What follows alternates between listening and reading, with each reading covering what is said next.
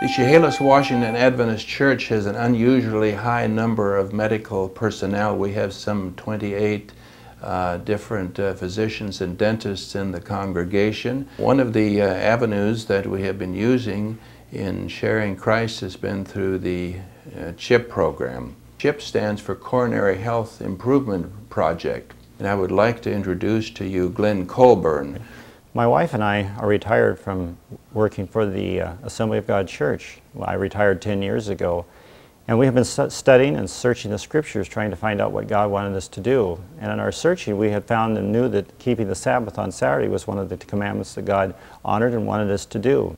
So the CHIP program and taking the class was the instrument that brought us into the church and that opened the door and gave us the final direction that we needed to become Seventh-day Adventists. Since taking the CHIP class, we thought, well, why not bring the Healthy Heart menu back to Woodland Estates and offer it to the residents? 30 days I was on the Healthy Heart diet. I lost six pounds. Made me very happy.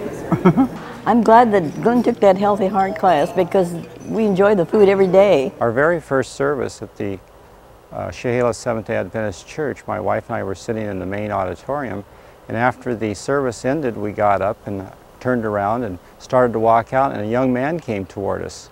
And the young man happened to be my son, our middle son.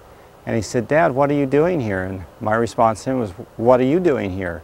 And he had met a Seventh-day Adventist girl about a month or two before that and had been coming to the church, only he hadn't told us because he wasn't sure what we would think about it. So we were both very surprised to see each other in the same church, and we've been going there ever since together. He's now engaged to marry that girl.